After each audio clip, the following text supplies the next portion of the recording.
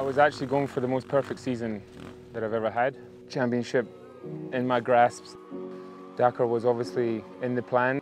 Everything had been paid for and it was pretty much a done deal. One millisecond and then it was taken away from me.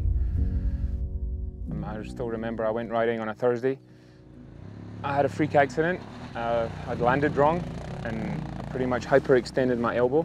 The doctor pretty much said to me the severity of the accident was so much that I wasn't going to be able to ride ever again.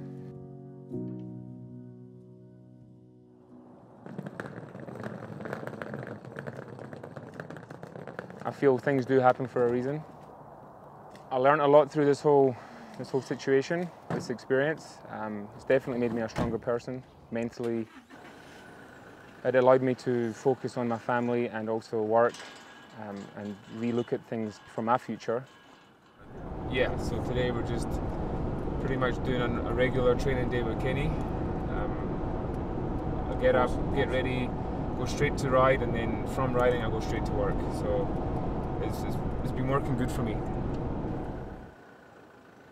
This through this whole Corona time, I've had a lot of time to to think and also more find a balance. That's what I'm looking for through racing, family, work, and obviously my passion.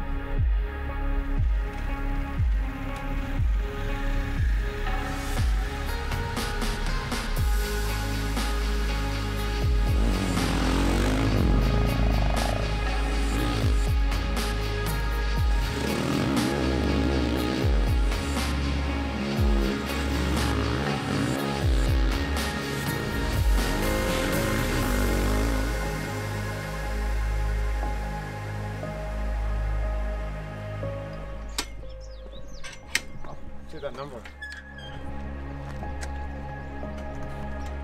So this is what I've been doing through COVID.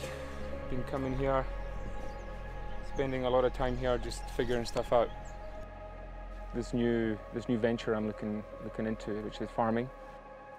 Yeah, lucky enough that we were able to get this farm, and now I can just pursue my passion and um, yeah, just learn learn how to do things. You know, we're going to do cattle, we've got vegetables here, and then we're going to look at doing some goats. So we're trying to make this a, a little a self-sustainable business. So I'm, I'm looking forward to having a bit more time so then I can, I can lay out a nice practice track around here. Have my own little off-road event, at least practice. Very optimistic from the beginning that I was going to get back on the bike. By the end of last year, Fred had asked me if I'm going to race, and I said yes, I'm going to give it a try. I did tell him that I couldn't commit to winning a race straight away, but I would definitely give it 100%. I realised after Lesotho National that I still had the pace.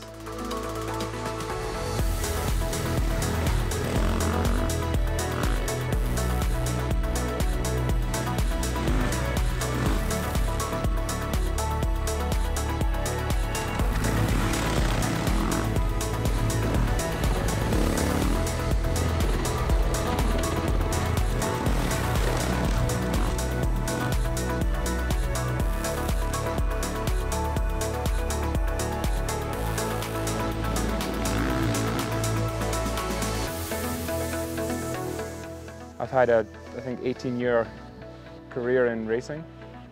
So I am on the brink of retiring. So I would really like to achieve another championship. And then Dakar 2021 is to just go there and do my best result. That would be the, the dream or the, the ideal way to finish a career, if I could say. Finish with the number one. Husqvarna.